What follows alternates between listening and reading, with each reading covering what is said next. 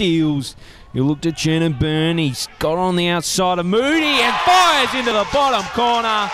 Darcy Hall. What a goal. And finds Turner on that right hand flank. Puts it through for Darcy Hall. Looks to use his wheels. Cuts it back to great effect. And Morton finishes into the top left window. Lovely technique striking the ball, Sherman.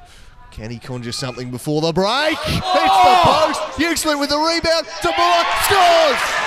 2 1. Absolute direction and beats Lewis. Beautiful flick on. Can McEwen get in behind Quayle? He does. Beats another. Sunday McEwen.